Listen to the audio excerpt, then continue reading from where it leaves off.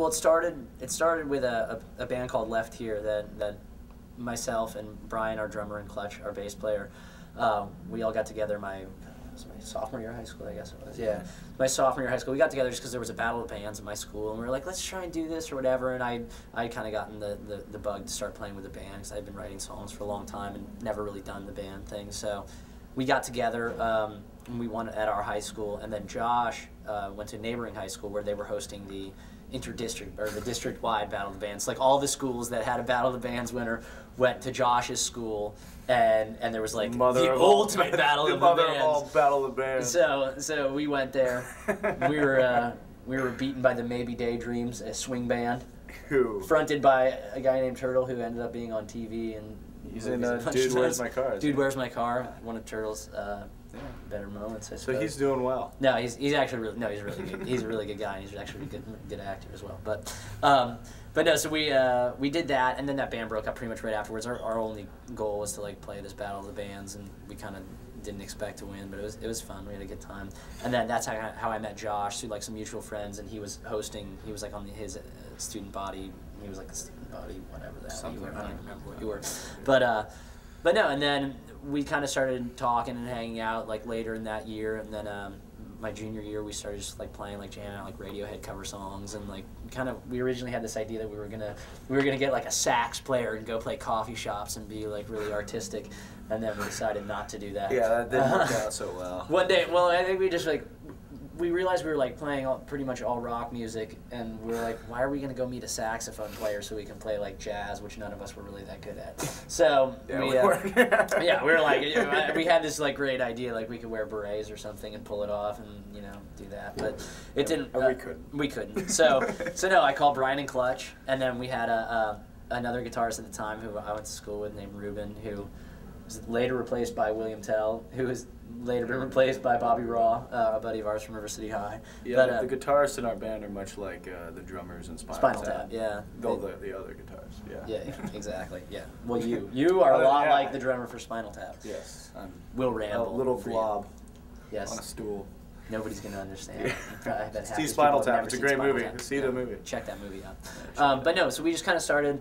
We'll give you the really long version of the story. No, so we started playing shows like churches and schools and wherever we could, literally wherever we could find a gig. And then the band was about to break up because everybody was leaving to go to college, or Josh and Ruben were leaving to go to college. Uh, Clutch and Brian were leaving to go to community college. Um, Not even leaving. and I was still in high school. And um, and no, they were all about to leave. We put together this show. We had never really played like a club gig. We tried to get it set up in a club, and uh, that no club would take us. So we, we set it up on our own, promoted our own show for like a week or so, and like over 300 people came. So we are like, wow, this is pretty crazy. And was, you know, we then I called this club the Coach House, which is this, you know.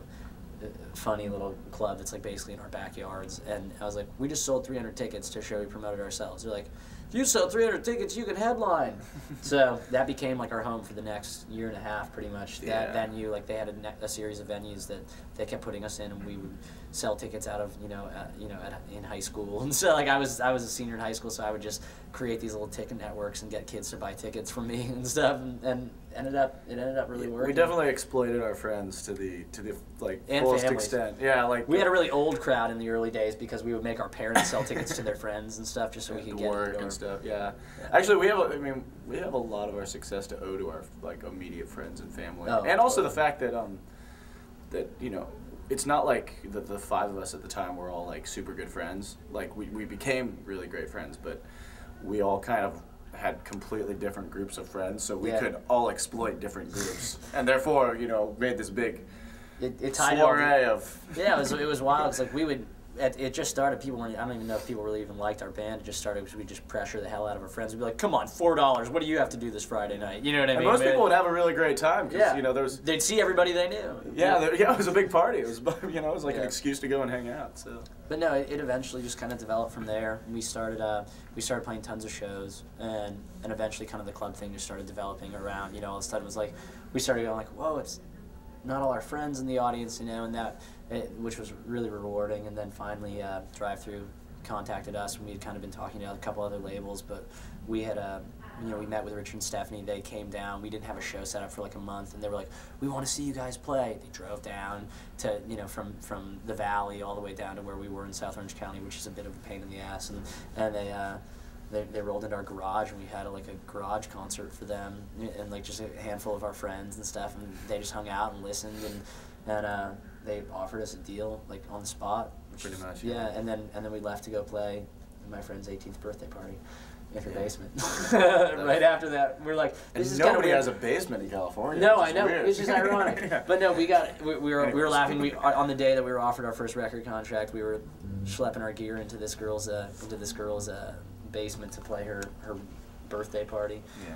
But um, no, it was, it's been a pretty amazing trip. You know what I mean? It's really been gradual. Nothing has come like it, it's never been with us like so all of a sudden one morning we woke up and this happened. You know, it's like we you know we we've tried to work our asses off, you know, and earn every every bit of it. And truthfully, we've had to work our asses off to do it because it's never, you know, a lot of those common mainstream areas like radio and and and all those things never really fully came into place for us. And we've we've had just this amazing fan base that's that's really driven kind of everything that everything that we've done. And They, they've kept it going for us, really. And we've always tried to appreciate it too. I think that's the coolest thing about, you know, that I see. Not, not only mainly when I, you know, looking at the other guys in my band, is that I see how much all of us really appreciate our fans and know that, you know, none of us are kidding ourselves. You know, we all know that it's, it's them that put us here, and that it's not, you know, that we're not like, we're we're extremely lucky. We just know that. Do you guys have any, um, I guess, a couple of questions. Uh, where do bands play if there's no basements? And where do you guys? It's, you have to be. I mean, you have to be pretty Yeah. ambitious. I mean, that's the thing. It's like you know, I have a lot of kids come up to me and be like, "Dude, I can't get a show." Blah blah blah. And and, and I almost want to feel bad for them, but I, I I feel like every band has been in that position, and it's like if you don't have the, if if you don't have it within you to like figure it out, you probably shouldn't be a band. Or, or if you, or that being said, you probably shouldn't be a band trying to be a professional band. You know, I had a guy sitting. We we played this college show last night. This guy comes up to me and he's like, "So, uh, like, what did you make tonight?" You know, he asks me. I'm like, uh, "I don't know. I think it's kind of tacky to talk about what we made." He's like, "Look, you know, four figures, five figures." Like this guy's like sitting. I'm like, I'm like, I'm you know, I'm not gonna go. He's like, "Well, I just want to know because I, I want to get into this." And I was like, and I just looked at him. I- yeah, I looked at him. I said, "I'm." He, he says he's like he's like we're thinking about doing the me and my band are thinking about doing this show next year or something like that and I was like Really? I'm like well you know I really what I what I would recommend to you that is if you're gonna try and get into this business you don't do it because you want money because you know You're gonna spend a lot of time without it. You're gonna yeah I mean it's like we're we're really lucky that it's like we've been doing this for six years and we're finally clearing a paycheck. You know what I mean? And it's like we're finally not living at our parents' house. But it's like Yeah. it but the truth was our goal you know we never sat there and we're like how do we get money? You know what i mean? It was like i think we knew that that money is something that comes with with dedication and actually working to to build something that, that you're proud of. And and hopefully that will be you know one of the rewards but you know one of many rewards which go along with just playing shows that are you know a size that you can really look out and go wow there's a lot of people here and and and, and build something that people actually come out to see. So yeah it's it's a it's a funny thing the, the way that people perceive this this industry it's it's it's something you really have to love and you have to do knowing that there's a chance that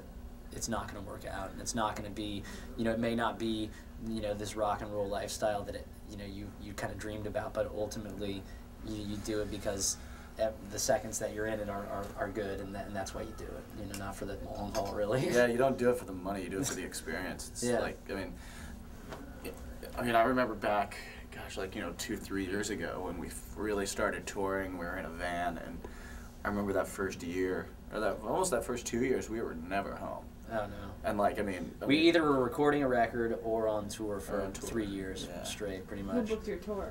our agent our you know we, agent- we at had that time we got one. Yeah, we had this amazing agent who like you know he he fell in love with our band. We had a, a guy Sean Striegel, this guy who worked at the House of Blues in Anaheim, who loved our band. He he was a part of the Coach House Galaxy, that same venue that I was talking about earlier, and he really f- supported the band and gave us a show at the House of Blues where we sold like a thousand tickets out of our pockets. You know what I mean? Like they didn't sell a single ticket on Ticketmaster. We did all of it, and like all of a sudden, you know, this you know this this agent, our, our, our buddy Josh, now he kind of he came down and was really blown away, and he was like, you know, before we had a record deal, or anything, it was like, I want to represent your Yeah. band, and he's killed for us ever since. And he, you know, and- Continues and, to, yeah. And it takes, yeah, and it takes. I mean, it takes people like that. You know, there are people in this industry, surprisingly enough, who will actually support bands that that don't have you know dollar signs written all over them all the time. And, and you know, that was for us. I mean, his his work is, was probably the most important of anything, getting us on the road and playing when we when we were nobody, playing 150 to 200 shows a year. You know, That's and- been the only thing that we've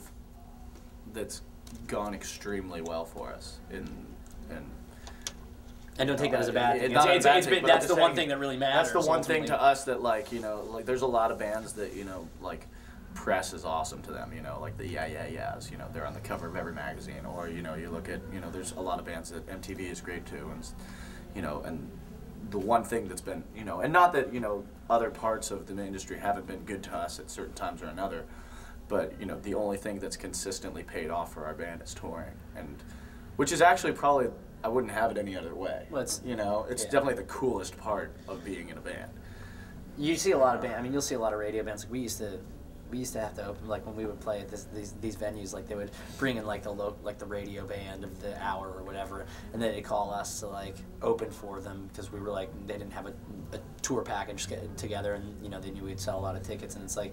It's al- it was always funny because we were like just this like dinky little high school band, but like we could somehow manage to get all these people to come out to shows, and it was like it's really shocking when you when you realize when they pull the curtain off of radio and it, it occurs to you like a lot of these bands that have sold half a million records or a million records can't get 200 people to, to walk in the door to a club to pay and see them. and are really bad Yeah, I mean, well, You know, like a sometimes- lot of 'em, like, I'm not. Yeah, we're not saying. I mean, it's like I'm not saying that's that's the case of all radio bands. Yeah, by any means. yeah, like, not I'm not. all, I'm not like this anti-radio guy. It's not my platform by any means. But but it, it's it's a wild thing. It's like touring and, and touring and the other mainstream avenues that, that come with music are two completely separate events. And then but touring is the most real. And and I I think ultimately it will last the longest for a band if they're willing to work on if they're willing to work it. When we did Warped Tour in 2002, Yeah, so uh, we made a made kind of a band rule um, early on, which was it was a really hard rule to keep, but, but it paid off, you know,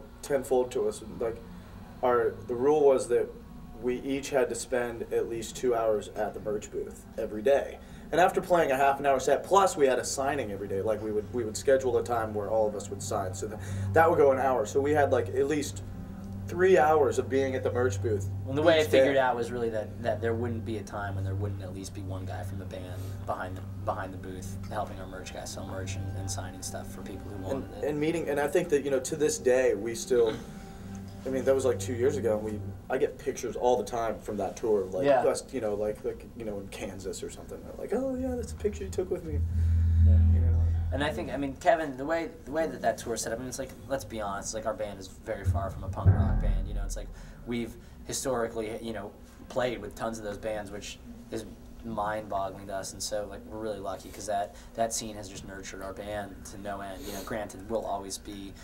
You know, a, a, a lot softer than a lot of those bands, and we'll have that perception, and there will be people within that scene who won't accept us for that reason. But, I mean, we I mean it was like six months before Warped Tour Kevin Kevin booked us on that tour you know we had if you C Jordan at the time looked like it might become a big single and it never did but he was like he kind of snatched us up quickly or whatever and, and put us on the tour and we almost felt bad when we showed up and was like we didn't have a hit and we were just like uh do do do do do you know but it was almost like this big challenge to us it was like you you either go out there every day and earn it and really work your ass off and, and get kids to like your band so that this this guy who took a huge chance on you can see that it was worth taking a chance. And I mean, I think you know Kevin Kevin Lyman in a lot of ways was almost like a mentor without actually like you know we it's like we like talked to him all day long or every day. You know, he didn't really mentor us, but just by existing in in that sense, it was like. We, you know, we, we tried to make him proud of us. I mean, that sounds really silly, but it's kind of true. And it's like, and we and we you know, and try to make ourselves proud. And we, we wanted to do well on that tour. And it, and each day we would we would sit down every day and go like, how bad did we suck today? What do we have to do? You know what I mean to get better? Because it's like, there's so many great bands on that tour. There's so many, and there are so many bands to see on that tour that, you, not say you have to be competitive, but you have to you have to raise your your show to a certain level to even make a kid want to buy your T-shirt instead of somebody else's, or come over and meet you instead of somebody else, or or come to your stage. You know, and it was weird because we started that tour and nobody knew us, and like halfway through, people started talking about our band on the website, on the Warped website, and like by the end of the tour, it's like we got to play like the sunset slot on the last day in Detroit, and it was like, it was. I don't know, like I seriously, it sounds gay, but I have like chills just thinking about it. Like, just like it was one of the most amazing experiences. It was like, it used to be like nobody would come up on the stage to watch our band, and, and, and we wouldn't necessarily have a huge crowd in every city. And like by that last show, it was like we had this enormous audience just going crazy, and, and like the stage was lined with all these people who like truthfully at the beginning of the tour like didn't really weren't really into us, and, and we're not shy about telling us either. You know what I mean? We had a lot of people on Like the the, tour. the, the, The metal militia guys. We had metal a, militia we- guys. yeah, there's like there's these guys. These guys. The, the metal militia guys. Well, there was a couple. I, I, I don't want to say that we were All supported Yeah, by yeah, all the yeah, metal militia guys, but there was a couple guys who like that day like we we walked on the stage and we see these like guys who like fairly intimidating on that tour and like you know we go walk off stage and one of these guys came up it was like the biggest compliment we could get. He was just like, you know. A lot of people, you know, a lot of people talked a lot of shit on your band at the beginning of this tour. He's like, I, I figured I had to come out and see it for myself. He's like, you guys ruled. That was awesome. And we are just, and I, I mean, stuff like that that really made it pay off because we, you know, we work hard. You know, it's like you never know. Everybody's not gonna like your music, you know, but. But our hope is that if people come see our show, at least they'll go. These guys are good performers. They play a tight show. They do a good job. You know, what regardless of what they think of our music, and that's that's kind of always been, I think, our goal is like at least get at least try and get some respect if people take the time to to to watch or listen to what we do, you know. So and that tour taught us that. Yeah, we, we walked off that tour a completely different band than when we walked on it. You know, like, we, you know, we were just so much, so much better. And It weathers single- you. That tour weathers It, you. it really does. You get off of that tour and you're just, you know, you're, you're so tired, and you're, but you're, but at the end you're, you play the last day and you're like, gosh, I'm Really so much out. better at what I'm doing right now than I was two months ago. When you play 60 shows in like 65 days or whatever the hell it is like yeah. it's a pretty i mean you know i mean you're doing this thing you know what the schedule's like it's like it's it's really grueling we were lucky to do it so early like i mean do the whole tour so early in our career because it was like we were just like we're on tour oh my gosh this is great but That was our first but- bus, too. yeah and like all these all these other bands who had like done it for like years at a time are just like you could just tell we're like God, we got to figure out something to do. I can't hang out in this parking lot any damn you any longer. You know, it's just get. You're like, yeah. And we were and we're sitting out there like, woo, we did is a case of beer a day. Yeah, yeah, we were so thrilled. We never. We were like rider. Like they're like, you don't get rider contracts. We're like, we don't even have a rider contract. What are you talking about? So yeah, no, it's good and it keeps you humble. I mean, that tour more than anything, it's like. You Yeah. take you like especially if you do that whole tour. I mean, I, I find that most bands who have done that tour, from that moment forward, the way that that is apply, you know, they apply themselves to the rest of their touring. It's like bands ha- learn that you have to work hard for what you do, and and that you have to earn it. And that is, I mean, I think that's how that tour was intentionally structured. Was that nobody nobody's better than anybody else. The, the the biggest band on the tour could play the first slot of the day, and the smallest band on the tour could have to sit there and play the last slot of the day. You know, which is both are kind of a pain in the ass. You know, but but you, you, you learn how to do it, and it puts you in all sorts of situations. Like boot camp for a band. You know, Also every gets lots of kids there. yeah, and every great situation and every shitty situation you could encounter, you encounter on that tour. Yeah, Like, absolutely. s- not just on stage. You know what I mean? It, with with fans, with hecklers, with with you know bus mm-hmm. drivers, with other bands. I mean, every everything good and bad is completely covered from start to finish. So it's a very well-rounded experience. I mean, it makes bands well.